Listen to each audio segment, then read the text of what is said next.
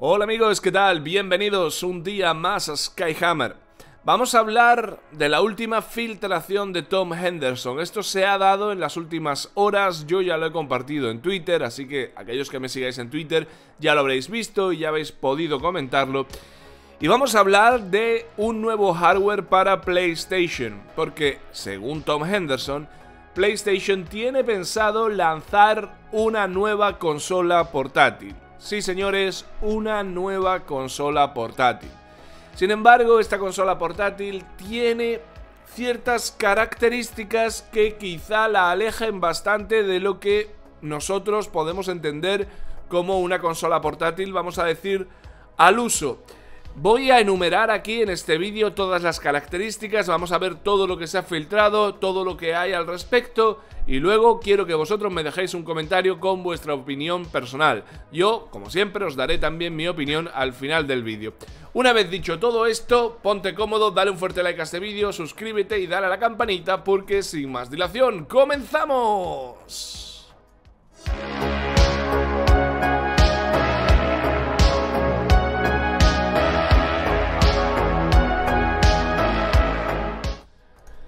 Bueno amigos, lo vamos a ver desde Twitter, como digo, lo he compartido hace un rato, si alguien no me sigue en Twitter, pues no sé a qué estás esperando, sígueme Skyhammer Games, donde comparto todo con mucha más facilidad y más rapidez que aquí en, YouTube, ¿no? Que hacer un vídeo tarda un poco más de tiempo.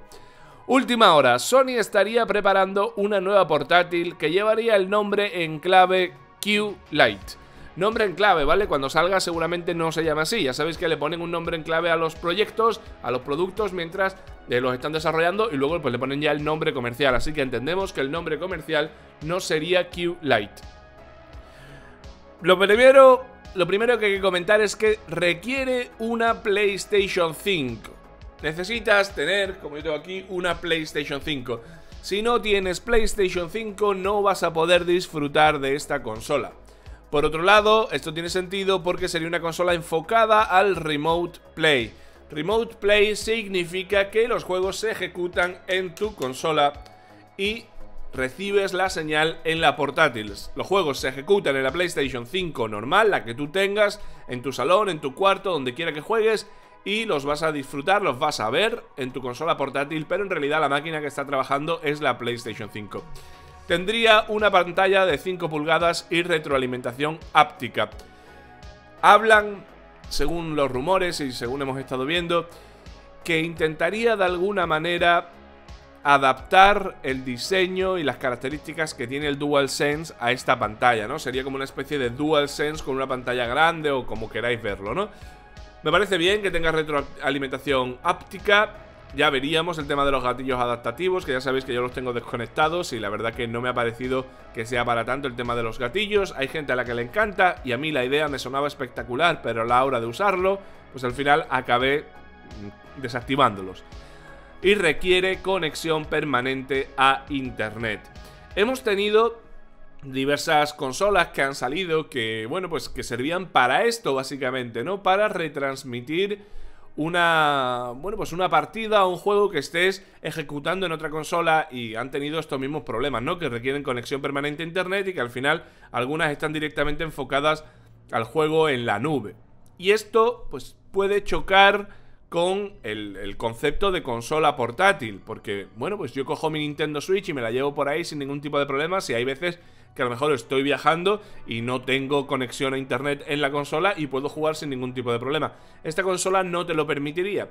Quizás si te permita, pues oye, que si tú estás en el trabajo, como me suele pasar a mí, que tengo un par de horas entre el turno de mañana y el turno de tarde, pues al final ahí es donde me llevo la Switch o me llevo la PlayStation 4 o la Xbox One, que la suelo tener en el trabajo.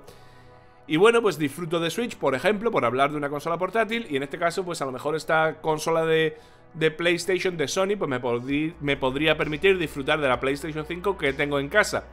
Se ejecutarían los juegos en la PlayStation 5 que yo tengo en casa y los disfrutaría en la consola. Bueno, podría ser una solución para el uso de esta consola dentro de la casa. Podrías tener tu, tu PlayStation 5 en el salón y jugar desde a lo mejor, yo que sé, en la cama, en otra habitación, como buenamente quieras, ¿no? Esto sería más o menos la idea que yo creo que tiene PlayStation para este hardware en caso de que sea cierto, porque como digo, esto es un rumor. Aquí en Vandal nos han ampliado un poquito la información. Y dicen, el rumoreado nuevo hardware de Sony sería una portátil con Remote Play, nombre en clave Q-Lite. Un conocido insider menciona una portátil orientada al juego remoto. Sería ese nuevo hardware no anunciado que se ha especulado en unos días. Hemos hablado en los últimos días, hemos hablado aquí de una PlayStation 5 Slim o una revisión de PlayStation 5 que en teoría saldrá después del verano, así que en breve deberíamos saber algo y que vendría sin lector de discos y el lector de discos se podría comprar aparte, o se tendría que comprar aparte. Si tú quieres juegos físicos tendrías que comprar el lector aparte.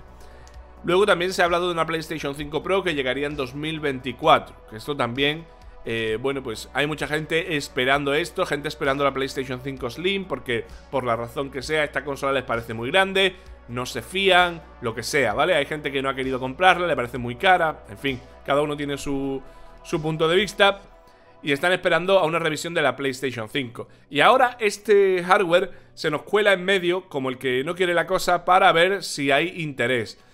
Yo no sé sinceramente lo que vosotros opináis. Decidme en un comentario cómo veis estas características y esta consola, si os llamaría la atención esta consola portátil orientada al Remote Play.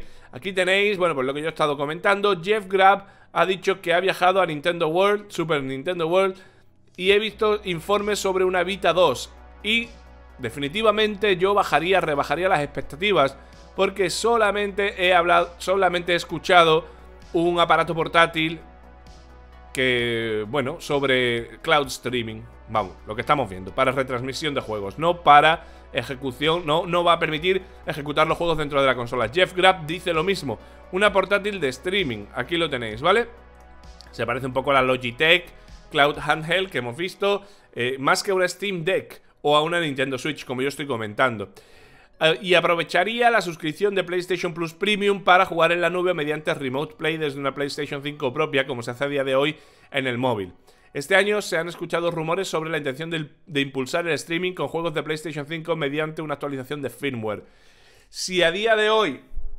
A ver, yo no sé cómo lo veis vosotros, pero si a día de hoy se puede disfrutar con Remote Play en el móvil, se me hace muy complicado eh, recomendar este tipo de consola. Habrá que ver también el precio, habrá que ver cómo sale, el anuncio oficial y demás. Tom Henderson ha ampliado la información y bueno, tiene lo que yo os he comentado, ¿vale? Ofrecería resolución de hasta 1080p y hasta 60 imágenes por segundo. ¿Ok? Bueno, en cuanto a las características físicas, los primeros prototipos son muy similares a un DualSense, pero con una pantalla táctil de 8 pulgadas LCD en el centro.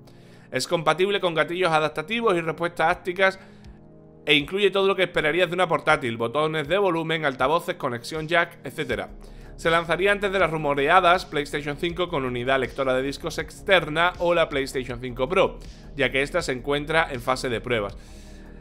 Yo no termino de ver este producto, ¿vale? No termino de verlo, por lo menos que tenga una aceptación en masa, ¿no? una gran aceptación porque te requiere una PlayStation 5. Y habrá que ver también el, eh, sobre todo el precio, que este es un tema muy interesante.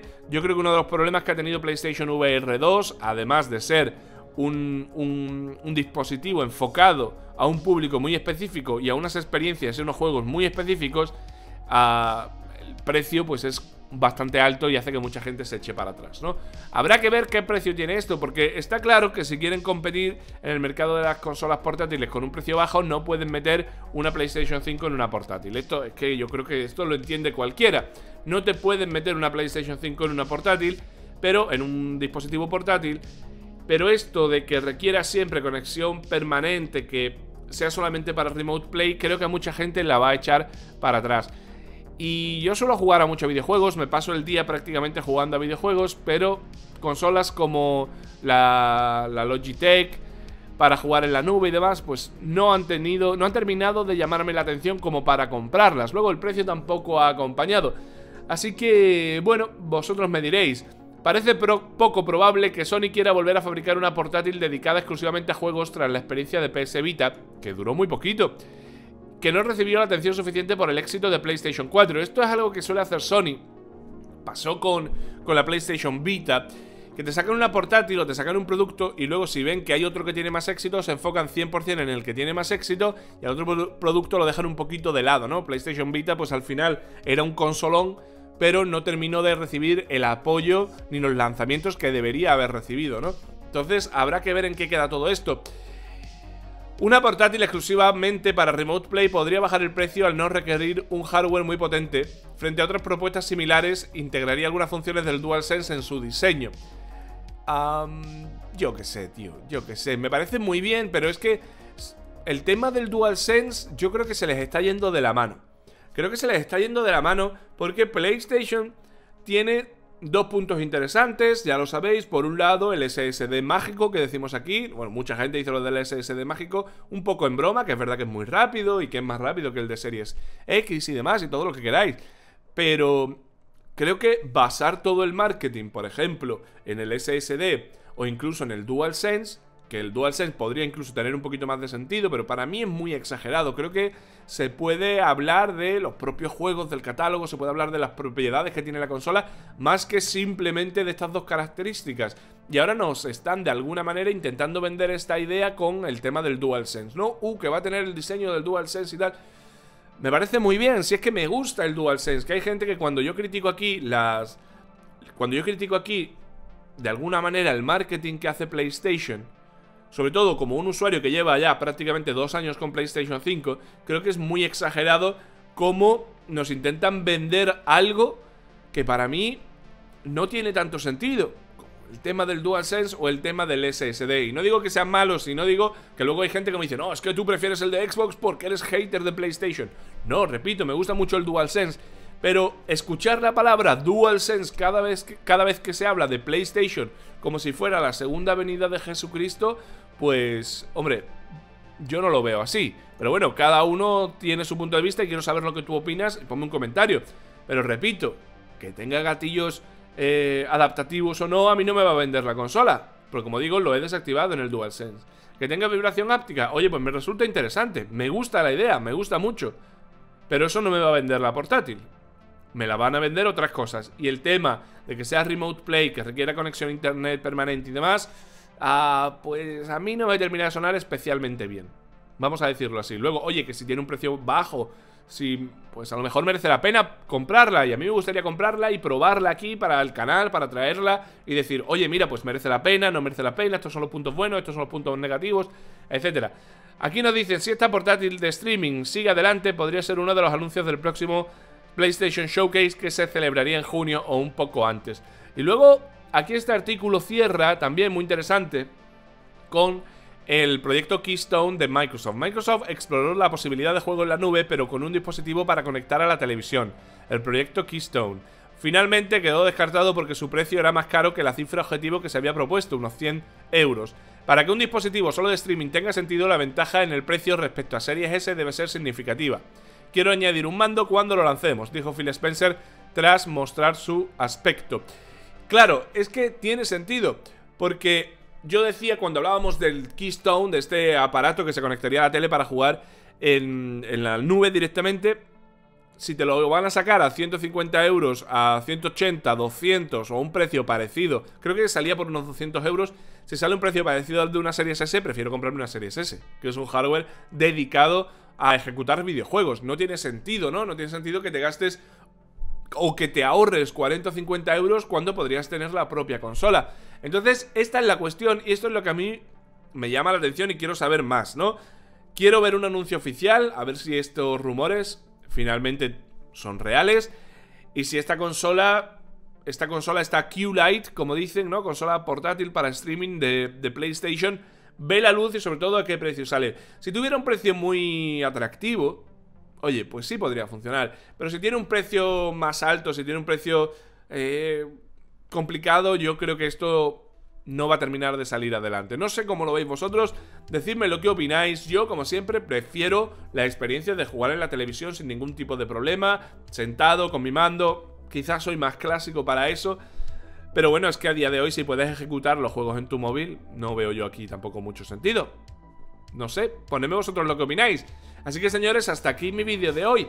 Veremos si en el PlayStation Showcase que retransmitiremos aquí en directo en cuanto se anuncie. Se supone que poco antes del 8 de junio saldrá este PlayStation Showcase. Y os recuerdo que el día 11 de junio tenemos el eh, Starfield Direct, el evento de Starfield, y también el Showcase, el evento grande del año de Xbox. Y todos estos eventos que vamos a tener los vamos a retransmitir aquí en directo con algunos amigos, el comisario, un servidor, algunos amigos más. Vamos a retransmitir los eventos aquí en directo para que podamos disfrutarlos entre todos. Así que señores, hasta aquí mi vídeo de hoy. Ponme un comentario con lo que tú opinas sobre esta consola portátil de streaming de PlayStation, que como digo es un rumor, ¿vale? No, no, tampoco, eh, tampoco vamos a tomarlo como totalmente cierto, ni mucho menos. Hay que tener en cuenta siempre, hay que cogerlo con pinzas porque es un rumor y hay que tener esto en cuenta. Así que os dejo un vídeo por aquí, dale un fuerte like a este vídeo, suscribíos, eh, dale a la campanita y nos vemos en el siguiente vídeo. Me quedo leyendo vuestros comentarios. Hasta luego, bye.